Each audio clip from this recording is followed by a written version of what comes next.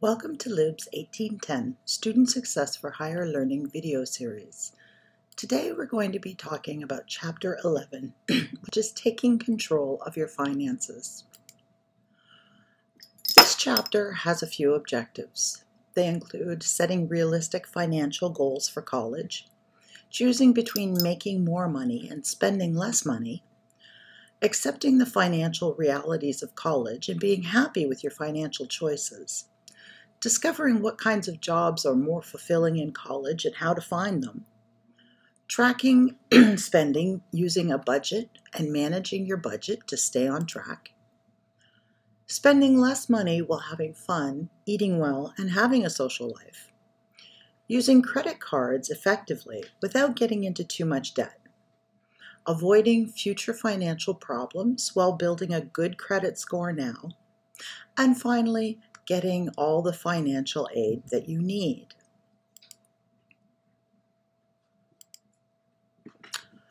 When we are learning our financial skills, it is important to set financial goals, and these need to be realistic goals. So, how much money are you going to need to get through college? How much money is each semester going to cost?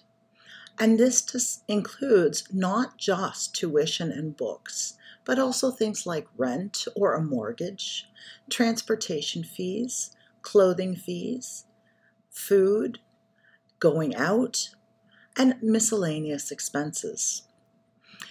You can consider getting a job and making money, or you could also look at getting a student loan you need to learn how to spend less and how to manage a budget when you're trying to learn financial skills, and we will talk about making a budget.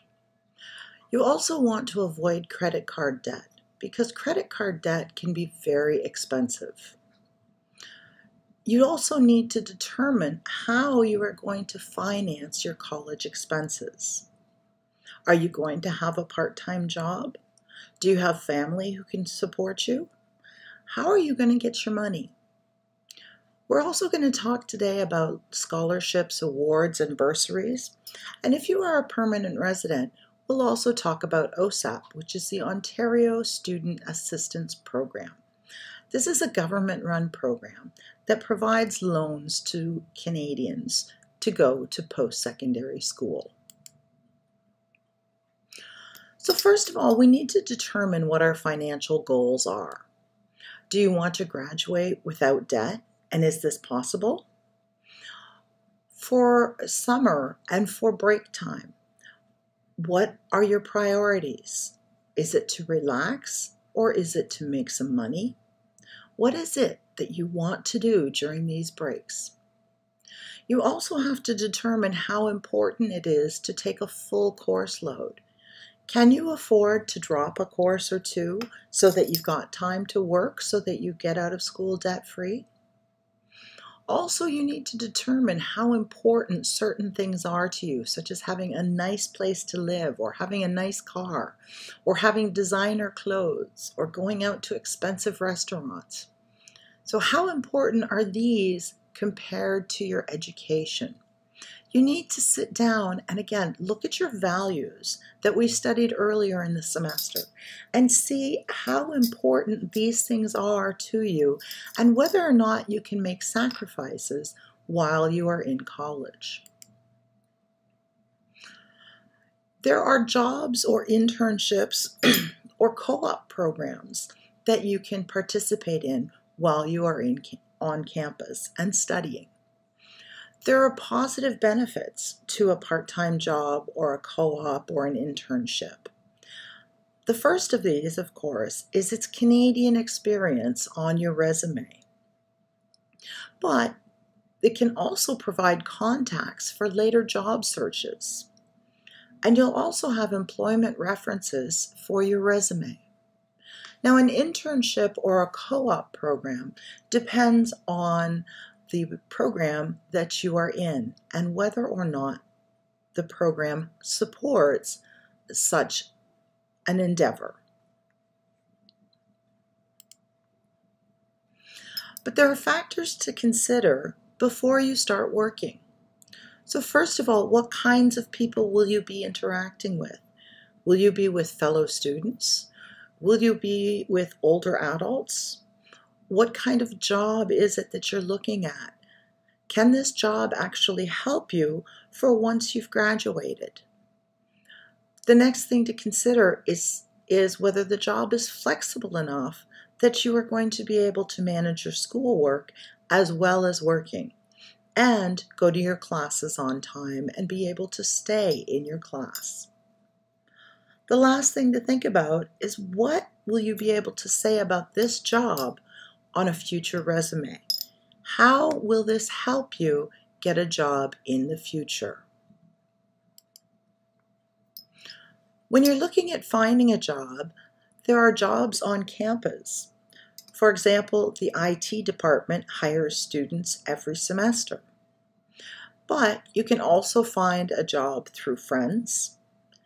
You can go on to Workopolis, Monster.ca, or Indeed.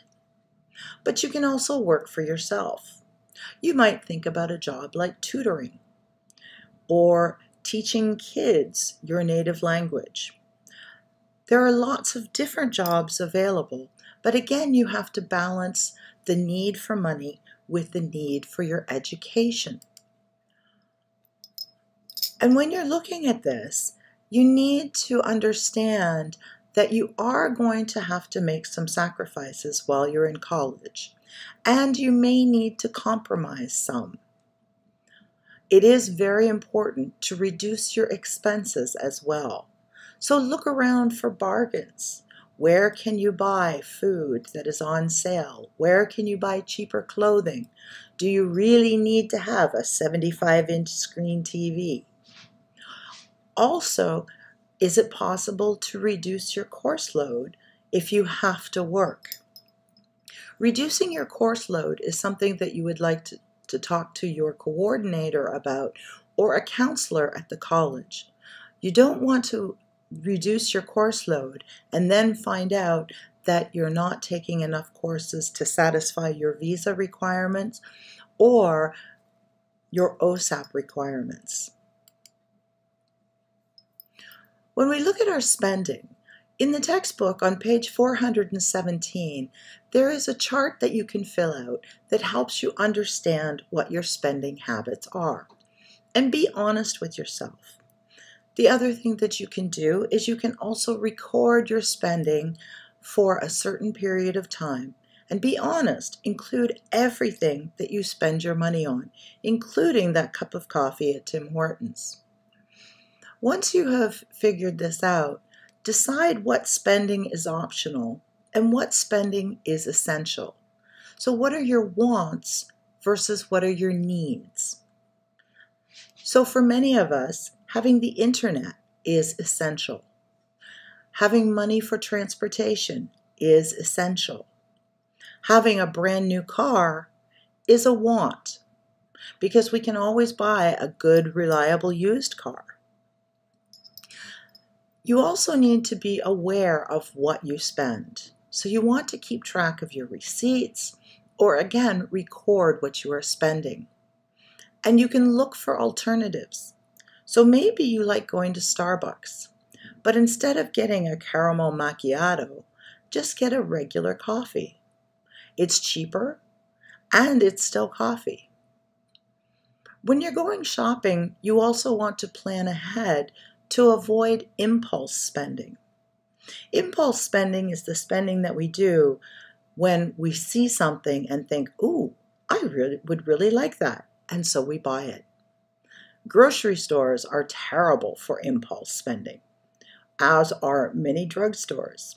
When you go up to the cash register, there are magazines, there's junk food, chocolate bars are my downfall, or a bag of potato chips. So this is impulse spending. So have a list and try to stick to it. Also, be smart about what you are spending. Do you really need uh, the most expensive pair of winter boots? Or are there better boots at a cheaper price somewhere else? Some tips for success in terms of financial planning. And spending less are making your own lunches and snacks. Food on campus is very expensive. So you can look at making your own lunches and carrying your own snacks as a way to save money. You can also read newspapers and magazines online. You can use the Conestoga College Library to read newspapers. If you're on campus, you can also get a copy of the record for free. The record distributes this to students on campus. You can also, instead of subscribing to cable or to an on-demand service, watch TV programs online for free. A lot of them can be found on YouTube.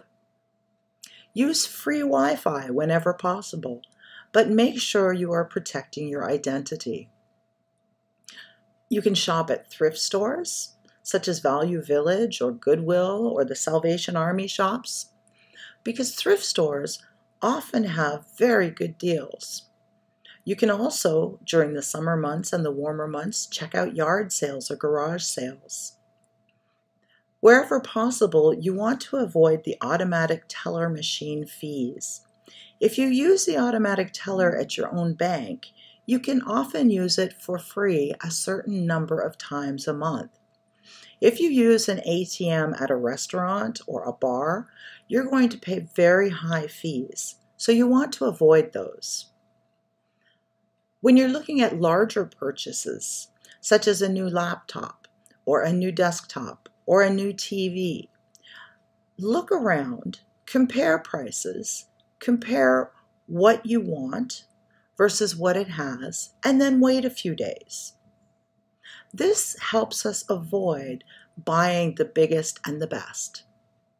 The final and best thing that you can do is to avoid failing classes. As an international student, you know how expensive classes are. But even as a permanent resident, classes are expensive. So you want to avoid failing them at all costs. If you've never made a budget before, it's very important to make sure that you follow some of the basics. And there are many apps that you can use. If you look at the PowerPoint slides themselves, you'll notice that I have a link for a budget calculator or an expense calculator, and these were created by the Government of Canada. They're completely free to use, and the government does not track your use of it. But when you're creating a budget, you want to list all your sources of income that you get monthly. If you don't have a source of income that comes in monthly, do you have one that comes in quarterly, every six months, once a year, or are you relying on loans? You need to make sure that you are including all of that money. Then you need to calculate how much money you spend on a monthly basis. So again, if you've never done a budget before, you want to spend a few weeks recording everything and keeping track of your spending and the money coming in so that you know when it's time to sit down to a budget what your expenses are. Budgets are never perfect the first time out, even the second or third or fourth time. You may find that you have to change your budget on a regular basis or adjust it. And you want to make sure that there's more money coming in and you want to make sure that money is not going out faster than the money coming in. You also want to try to balance your budget. And by balancing your budget, you want to make sure that you have a little bit left over each month that can be put into savings. The Government of Canada recommends that you have at least three months of expenses in a bank account so that should an emergency arise, you are going to be okay for at least three months. There are a lot of reasons why people spend too much. One of them that's for students is if you go from working full time to being back in school again, it can be hard to cut back because you've fallen into certain habits. So maybe a couple of times a month you go out to a nice restaurant, or you have a very nice car, or you buy yourself designer clothes or expensive clothes. As a student, you're going to have to go back and rethink about your spending habits. Another way that people spend too much is using credit cards or using a debit card and not paying attention to how much you're actually spending. We also have easy access to cash now. Credit cards, debit cards, things like Apple Pay make it so easy to use our money, and there are temptations everywhere. We have a saying in Canada called keeping up with the Joneses. What this means is if our neighbor buys a new car, we have to buy a new car that's as good or better than theirs. You want to avoid this kind of temptation because it winds up leading to overspending. It's also important to remember that we often buy things to feel good. There's actually a term called retail therapy that people engage in. And if they're upset or they're depressed or they're sad, people will go shopping. If you are this type of person, you want to make sure that when the emotions are running high, you don't go shopping.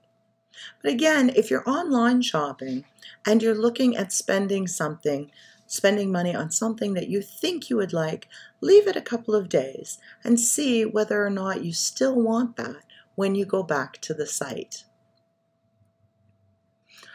Now, spending money can lead to financial problems and financial trouble. You can wind up in a lot of debt. One of the things is an unbalanced budget. So, again, you want to keep on top of your budget and you want to keep adjusting it as needed.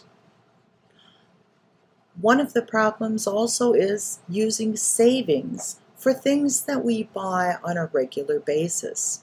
So instead of saving money, we go out and we buy a new TV, for example, or we buy a more expensive computer that we, than we need.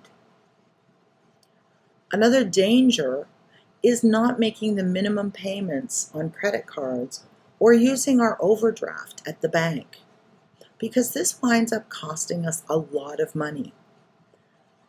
And we'll talk about credit scores and the value of a good credit score in a few minutes. Because a credit score, a good credit score, can positively affect the interest rates that you're paying on your credit cards and also what you can borrow at the bank. Not having savings is also a problem because if an emergency arises, where are you going to get the money from? You need to make sure as well that you know what your total debt is, because if you don't, you can wind up going into so much debt that it's very difficult to get out, and you might even have to declare bankruptcy, which again is a negative effect on your credit score. Finally, not cutting or getting rid of enough optional expenses can lead to financial problems. If you're one that enjoys going out for a cup of coffee every day, or you enjoy eating out at restaurants a couple of times a week, keep track of how much that is costing you each month and see how much of that you can cut down on. Now, we've talked a little bit about saving, and there are benefits to saving. The first one is being prepared for an emergency. So if something happens, you have access to money that's not a credit card. You can also take advantage of compound interest. Now, interest rates are not very high at the bank, so it's best to look at something like a high interest savings account that if you leave the money in, the longer it's there, the more interest you're going to make. Having savings can also help you launch your career Something as simple as having enough money to buy a good suit to go to interviews can help. And also, having savings allows you to be flexible for the future. So if you graduate from university or college with a lot of debt, you might have to take the first job that becomes available. However, if you have savings in the bank, you'll be able to sit back and decide which possible job you would like to take. And you may wind up with a better job than the first one that comes along. Now, we've talked about the dangers of credit cards, but credit cards can also benefit you because, in case of an emergency, there are funds available. We can often get cash advances. Also, we use travel or we use credit cards to book our travel and to make reservations. We can make purchases online, but it also helps build a credit rating. And we'll talk about the credit rating in just a minute. But it is important to make sure that you avoid credit card debt. So one of the things you can look at is paying with cash when you can. Or if you have a credit card that you get points for something on and you prefer using that, make sure that you make the minimum payment every month or, if possible, pay off the balance each month. You can also use your debit card instead of a credit card. And again, you want to make sure that you pay your full balance every month, if at all possible, on your credit cards. It's not a good idea to get cash advances on your credit card because this costs a lot of money in interest. However, occasionally credit cards do offer cheap or low interest rates in order to borrow money and consolidate your debt. So if that is an option available to you and you find yourself in a lot of debt, this is an option to look at. The next bit of advice is to not use more than one credit card. This is because if you have a lot of credit cards, it can be difficult to keep track of how much money you've spent on all of your credit cards. And it's important to also keep the receipts for your credit card purchases because you'll want to compare your purchases and your receipts with your credit card bill each month to make sure that the charges that are on the credit card are yours. Identity theft is becoming a real problem. So you want to make sure that no one has access to your credit card. And if, a, if nothing else is working, stop carrying your credit cards with you. This will help you avoid the temptation. Now, a credit score, as we talked earlier, is something that the banks use and lending organizations such as credit cards use. And your credit score is based on your credit history. It's based on how often you pay your credit cards and how much you pay. It's based on how many credit cards or how many loans you have and a few other things. And credit scores are important because credit scores affect how much money you can borrow and what interest rates you're going to be charged. So other things that affect your credit score are current and past credit card accounts, your history of, and balance of payments, your history of late or missed payments, inquiries into your credit status. So this happens when you apply for a loan or you apply for a new credit card. Bankruptcy or mortgage foreclosures also affect your credit score and repayment of student loans.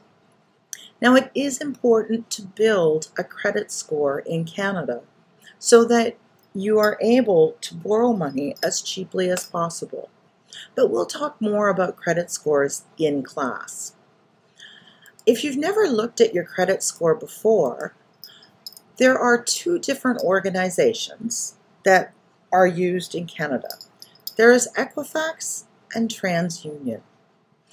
Each bank in Canada uses one or the other. You can go into either Equifax or TransUnion and periodically check your credit score. Or you can also enroll and pay a monthly fee and either of these organizations will keep track of your credit score and also alert you to any unusual activity. And again, if you're reading the PowerPoint slides, the additional help button will give you more information for other organizations that you can use. As I mentioned before, identity theft is becoming a real problem in North America. People steal credit card numbers or debit card numbers and they use those to make illegal purchases. So are there are ways to prevent identity theft. The first is never put any document with personal or financial information into the garbage or the recycle. It's a good idea to invest money in a paper shredder and use that to get rid of any documents. You also want to make sure that you review your bank statements and credit card bills very carefully every month. And on the telephone, never give out your social insurance number or credit card numbers or sensitive information unless you know the person you're talking to. Don't answer phone calls or don't give out information with phone calls from people claiming that they are from a credit card company or from the government. The government and credit card companies will never ask you for these personal numbers, so don't give them out.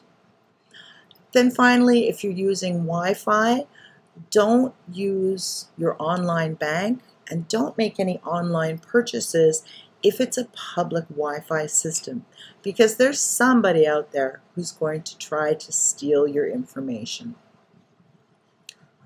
The last bit of information I wanted to talk about are the types of financial aid that you can get while you are going to college. For Canadian students or Ontario students, or for students who have their permanent residency, you can apply for OSAP the Ontario Student Assistance Program. And you can get a loan from the government to pay for your tuition. The government determines, though, how much money they are going to give you. They may not give you enough to get through school. So you're going to have to have some other form of finances available. You can also look at getting a loan from a bank. But do be aware that any school-related loans and OSAP carry very high interest rates compared to most other loans. You can also apply for scholarships or grants. If you go to Conestoga College's homepage, so www.conestogac.on.ca, if you go to the admissions page, you will find the Student Financial Services button.